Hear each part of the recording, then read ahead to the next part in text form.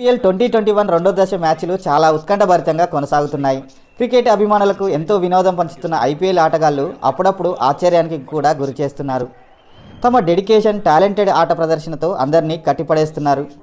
తాజాగా డూప్లెసిస్ తన జట్టు పట్ల కనబర్చిన అంకితభావం తోటి ఆటగాళ్ళతో సహా క్రికెట్ ప్రియులందరినీ వావ్ అనిపించింది.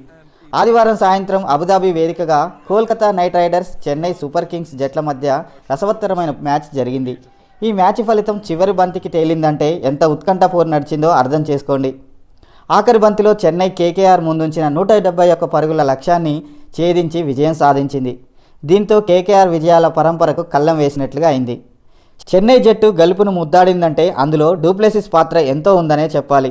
ఈ ఆటగాడు అద్భుతమైన క్యాచ్ని పట్టి కేకేఆర్ కెప్టెన్ విధ్వంసర బ్యాట్స్మెన్ అయిన ఇయాన్ మోర్గాన్ను అవుట్ చేశాడు. పదవ ఓవర్లలో తొలి బంతిని ఇయాన్ మోర్గాన్ భారీ షాట్ కొట్టాడు. ఆ బంతిని క్యాచ్ పట్టేందుకు లాంగన్లో ఉన్న డూప్లెసిస్ వేగంగా పరిగెత్తి బౌండరీ లైన్ వద్ద క్యాచ్ అందుకున్నాడు. తొలుత బంతిని క్యాచ్ పట్టుకున్న డూప్లెసిస్ బౌండరీ లైన్ దాటుతానేమోనని క్షణాల్లోనే అలర్ట్ అయి బంతిని గాల్లోకి విసిరేశాడు. అనంతరం బౌండరీ లైన్ అవతల కాలు పెట్టి మళ్ళీ లైన్ లోపలికి వచ్చి గాల్లో ఉన్న బాల్ని అందుకున్నాడు. దాంతో ఇయాన్ మోర్గాన్ ఎనిమిది పరుగులకే అవుట్ అయ్యాడు. వాస్తవానికి అంతకు ముందే జారిన ఓ మ్యాచ్లో ఓ బ్యాట్స్మెన్ క్యాచ్ని పట్టే క్రమంలో డూప్లెసిస్ మోకాలికి గాయమైంది. అయినప్పటికీ తన గాయాన్ని లెక్క చేయకుండా సిఎస్కే జట్టులో కొనసాగుతూ దాన్ని గెలుపు తీరాల వైపు నడిపించాడు. రక్తం కారుతున్న సడలని డెడికేషన్తో అత్యంత కష్టతరమైన క్యాచ్ని పట్టి షబాష్ అనిపించాడు.